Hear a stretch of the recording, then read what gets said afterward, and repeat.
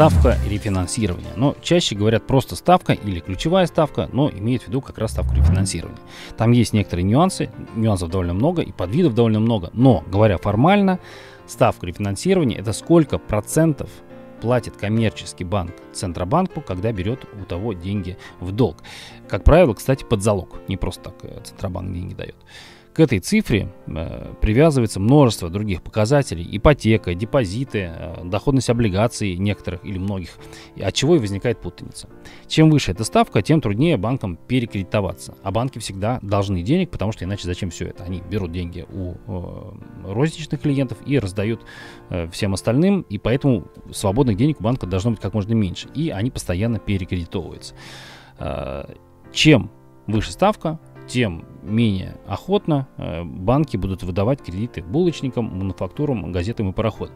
И наоборот, когда э, в стране экономический рост подменяется, так сказать, стабильностью, э, ставку надо, естественно, снижать. От этого уменьшится безработица, и бизнес облегченно вздохнет. Но может вырасти инфляция, ведь деньги делаются дешевле. А у нас инфляцию страсть как не любят еще с 90-х годов, то ли дело в Японии, там все наоборот. Э, повышением ставки Центробанк пытается дико бороться с инфляцией. Деньги ведь становятся дороже, то есть их становится труднее раздобыть, и инфляция как бы снижается. Но истинного влияния на экономику никто понять не может, там уже несколько выдано Нобелевских премий, толку никакого. Не так давно в мире были отрицательные ставки, и никто не мог объяснить, что это, как, почему, чем это закончится и к чему может привести. Все просто сидели и боялись. Неразберихи добавляет а, еще и конвертируемость валюты, э, потому что там может быть очень странное влияние на ставку, и сальдо внешнеторгового баланса, еще более странное влияние на ставку может происходить.